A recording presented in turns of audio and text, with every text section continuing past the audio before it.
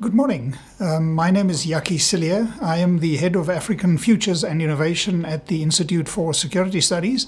And today uh, on the View on Africa, I am going to talk to you about a recent report that um, I wrote at the end of December, uh, which followed the ANC's National Executive uh, Council meeting in, uh, in December.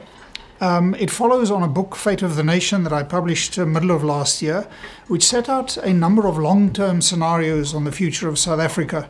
To the, uh, those of you that maybe have read the book, it really looks to 2034, and it was built around a structural analysis of South African politics and the fact that politics will drive our economic and developmental future.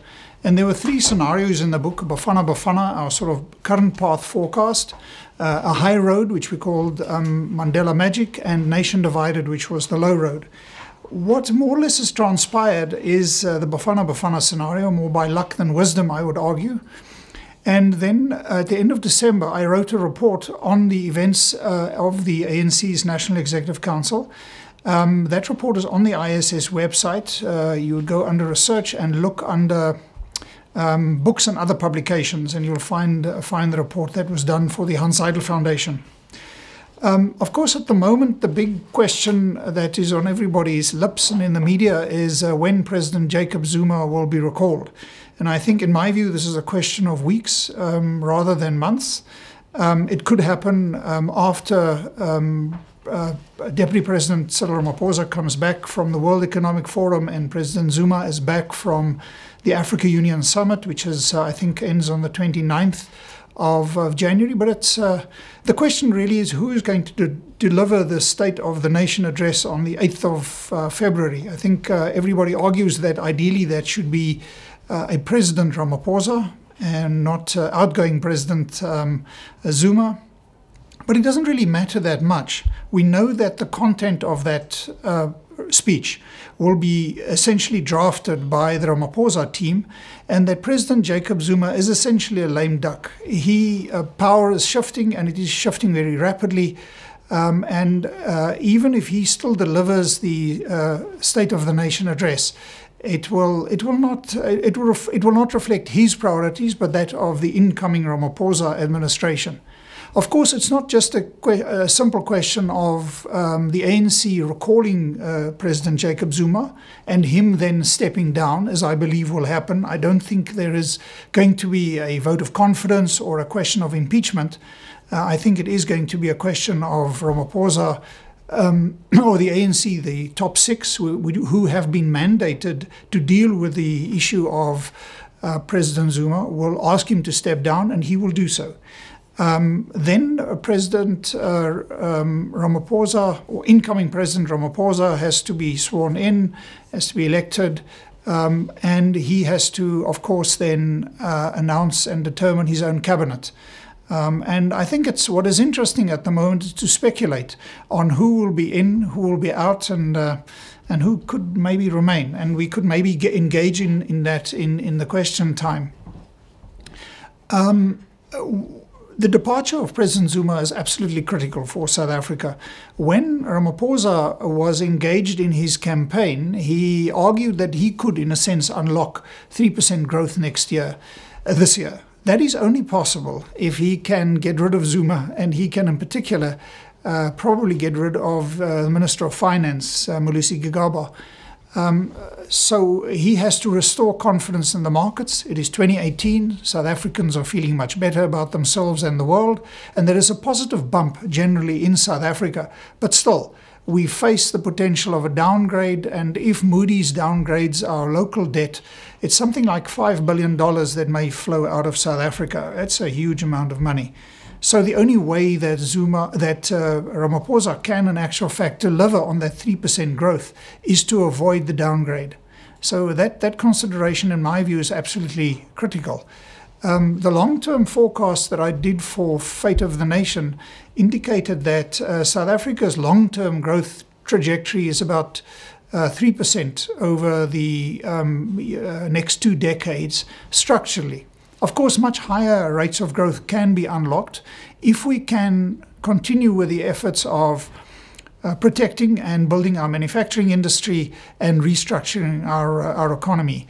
Uh, it is ironic that the ANC since 1994 have invested significantly in the provision of water, sanitation, uh, electricity for poor South Africans, education, and so on.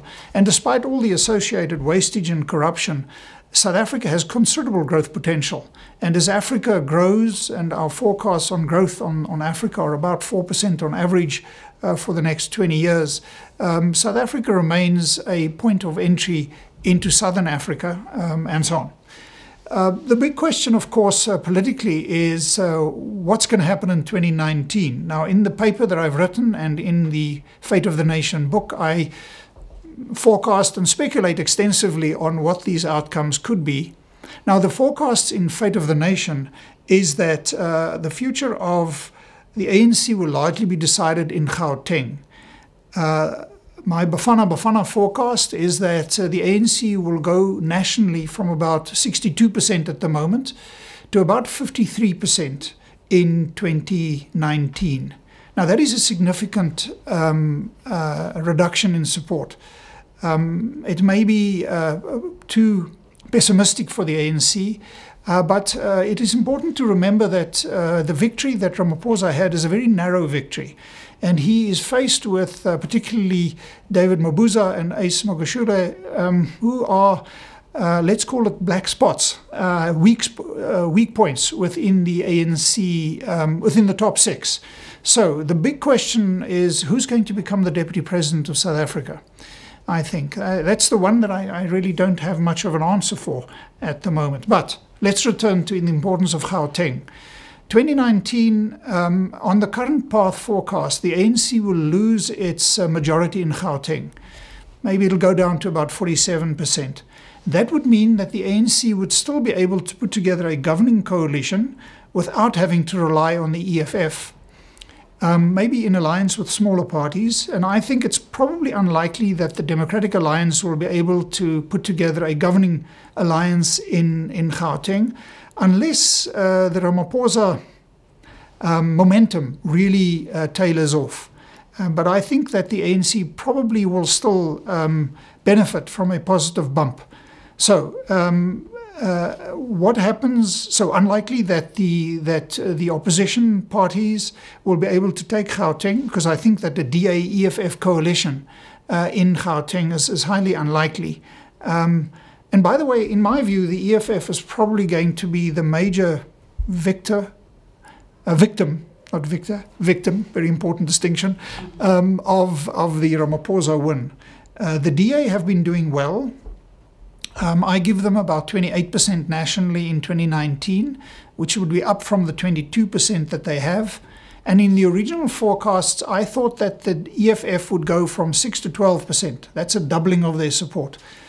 I think many EFF voters voted for the EFF as a protest vote against the ANC and knew um, arguably much more ethical and principled leadership will unlock that support. Uh, many of these will go back, I think, to the ANC.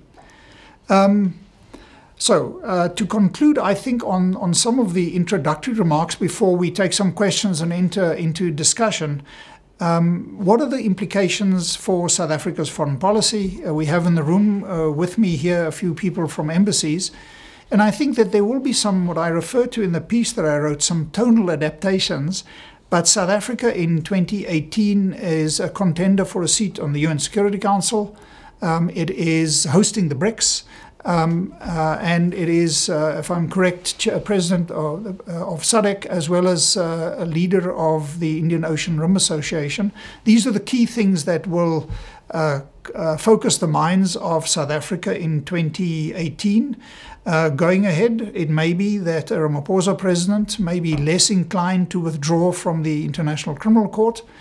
Um, but I think that the broad orientation of South Africa's foreign policy will uh, not change substantively, but hopefully we will find a slightly uh, greater uh, balance, particularly with uh, the uh, to a degree hostility that we've seen in South Africa's uh, engagement with the European Union and, and North America. Um, so apart from that, I think that's the broad orientation of, of South Africa uh, looking ahead will, will, in foreign policy terms, remain orientated towards Africa. It is the only region where we have a consistent trade surplus. It is our natural market destination. Um, we have lost our way under Jacob Zuma in more ways than one. Um, and hopefully we can recover some of the ethical, uh, maybe principled leadership that South Africa had um, and and also regain some of the stature that we had in, in Africa. We I think have slipped quite a bit in, in that regard.